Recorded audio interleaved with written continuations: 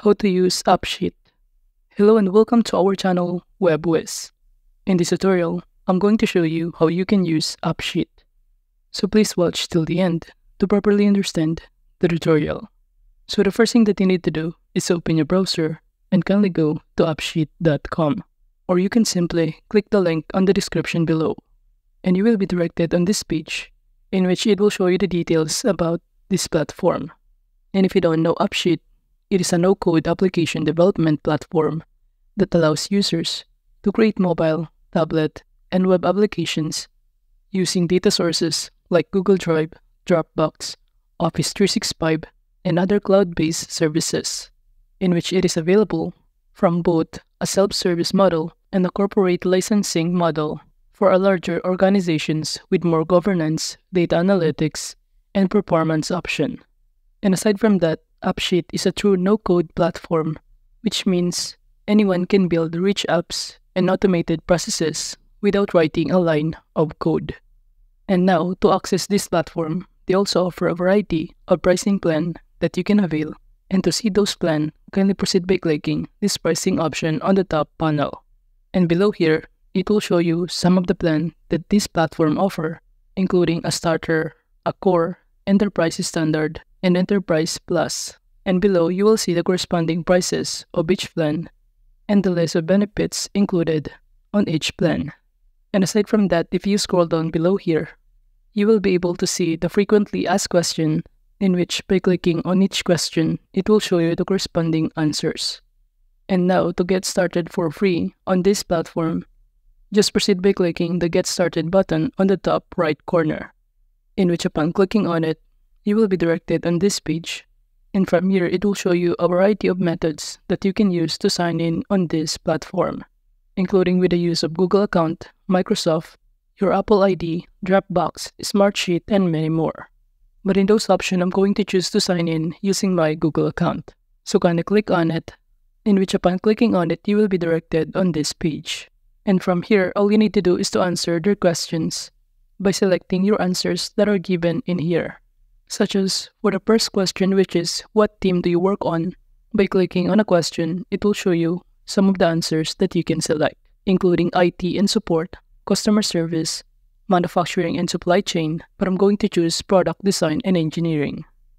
Well, for the next question, what processes can we help simplify? And after that, by simply clicking the questions, it will show you the answers that you can choose, including project and task management, inventory and location tracking, and many more. Well, for the next question, which best describes you? And now, after answering all of the question, just proceed by clicking the submit button below. And from here, it will show you the homepage of appsheet.com, in which you will see on the left side panel some of the options that you can start navigating, including the recent, share with me, owned by me, and the templates, in which under the recent, it will show you some of the application that you have been generated or build, and also the database that you use in order to build in AppSheet your own applications. So basically from here, you can see the most recent entries or changes made to the application or the data source used by the app.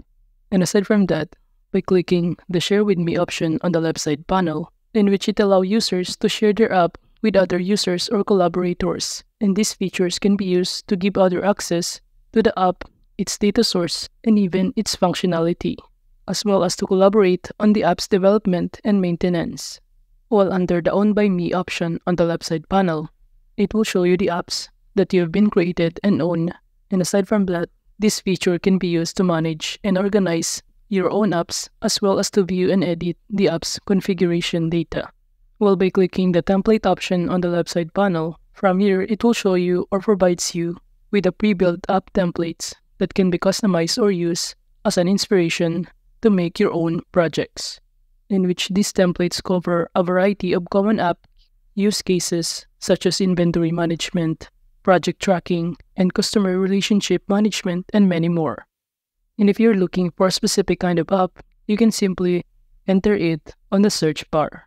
For example, real estate, in which you will see here a variety of templates that you can use on the results. Now to start creating an app, all we need to do is to go back to this page and proceed by clicking the create button on the left side panel and just click the app, in which it will show you the three options that you can choose, such as to start with existing data, to start with a template, and also start from scratch or blank app. But in those options, I'm going to choose to start with a template, in which upon clicking on it, you will be directed in here, and from here, you will see a variety of templates again that you can use as an inspiration in creating your own app. And to select a template, kindly proceed by clicking the copy button below, in which by clicking on it, it will show you this pop-up window. And from here, you can start customizing the app name and also choose a category below. And after that, just proceed by clicking the copy button below. Now moving on, you will be directed on this page, in which from here you can start customizing your application based on the templates given. And as you can see on the left side panel, some of the options or editing tools that you can start navigating in order to customize your application. And aside from that, below here, it will show you the suggested next steps that you can use as a guide, customizing the screens, the columns, and even the brand of your app. And by clicking the data on the left side panel, from here it will show you a variety of category, clients, and expenses that you could also customize the name, the type, the label, and even the formula of the category, in which this feature can be used to set up the data source, define entities and properties, and specify how data is displayed and manipulated in the application. And from here, you could also customize input forms to control the presentations of data and in order to add or edit the data app on this page. And from here, the data option, you could also connect the app to a variety of data sources like Google Sheets, Excel, and any other applications. And aside from that, from here, you will see on the right side panel what your application looks like when a users try to access your apps. And since we choose expenses as the template, the main purpose of this app is to track business expenses and generate expenses reports. And from here on the right side panel, you can start navigating some of the options in order to experience or to see what the users can do by simply using your apps.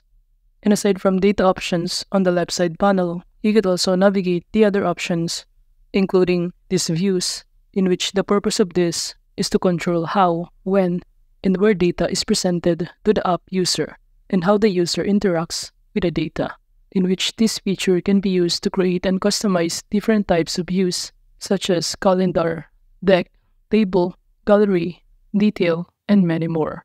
And aside from that, under the Actions option, from here you will be able to define specific operations that can be performed on the app's data, in which this feature can be used to create and customize different types of actions such as navigation, data change, external, and group actions, which is very helpful in building an application. So basically, this option provides a powerful way to create and customize different actions that can be performed on the app's data. And aside from that, if you're now done customizing your application, you could also share the results by clicking the share button on the top panel. And from here, to share the app, all you need to do is to enter the email address of the recipient, or you can simply copy the sharing links share it via email, messenger, or any other platform. So that is just how you can use AppSheet. Thank you.